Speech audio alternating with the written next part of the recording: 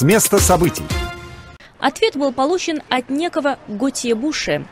Он назначил нам встречу в кафе «Бразилия» в одном из рабочих кварталов Сен-Назера, неподалеку от стройки.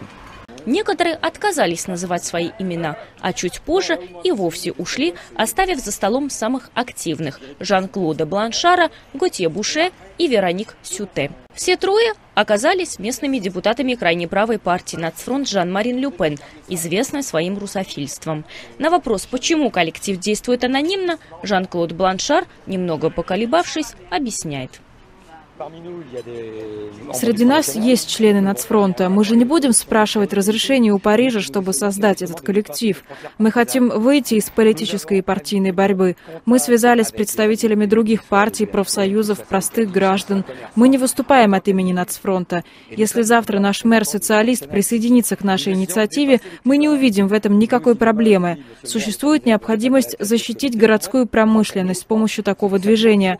Мы не можем делать это на политическом политическом уровне, потому что это означает разделять людей. Наша мотивация – защитить нашу экономику и развитие города. Мы выступаем за дружбу народов. Я не думаю, что Франсуа Оланд пойдет на такой шаг не сдержать слово Франции и отказаться от контрактов. Это станет очень плохим сигналом для тех стран, которые хотят сотрудничать с нами.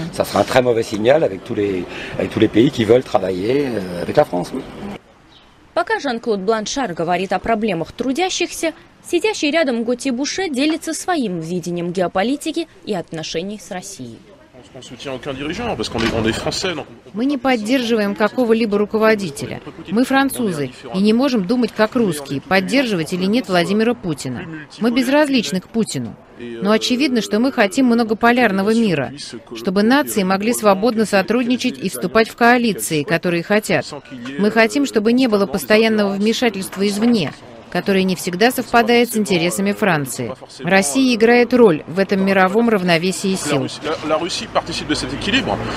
Активность Готье Буше проявил не только в борьбе за защиту трудящихся в своем регионе. К Севастополю уже присоединили кормовую часть, построенную в Санкт-Петербурге, а Владивосток почти достроен. В октябре город готовится открывать шлюзы.